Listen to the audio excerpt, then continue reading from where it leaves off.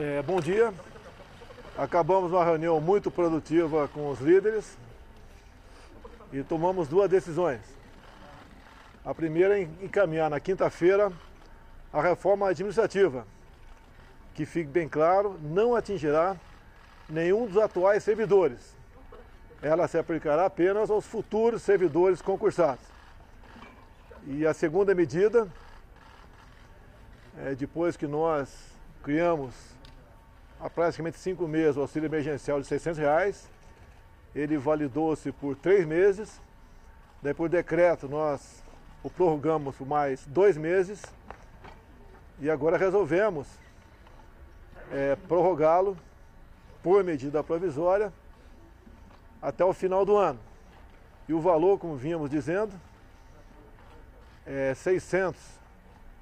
É muito para quem paga, no caso o Brasil, e podemos dizer que não é um valor o suficiente, muitas vezes, para todas as necessidades, mas basicamente atende.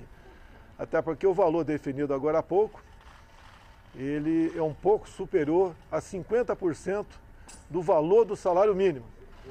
Do Bolsa Família. Ou melhor, do Bolsa Família. Obrigado, do Bolsa Família.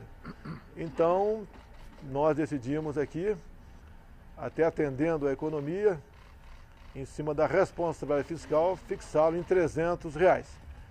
Eu que tinha que falar isso, eu peço a, que fale então agora, Paulo Guedes, alguma coisa, Paulo Guedes?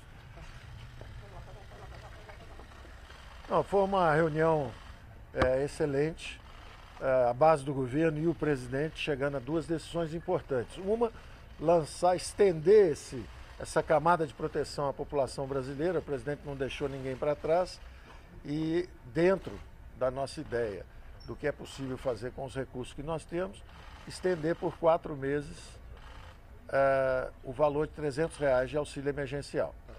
E importante, sinalizando para o futuro, uh, a retomada das reformas. Então, a reforma administrativa é importante, como o presidente deixou claro desde o início, não atinge os direitos dos servidores públicos atuais, mas redefine toda a trajetória do serviço público para o futuro. O serviço público de qualidade, é, com meritocracia, com é, concursos exigentes, promoção por mérito.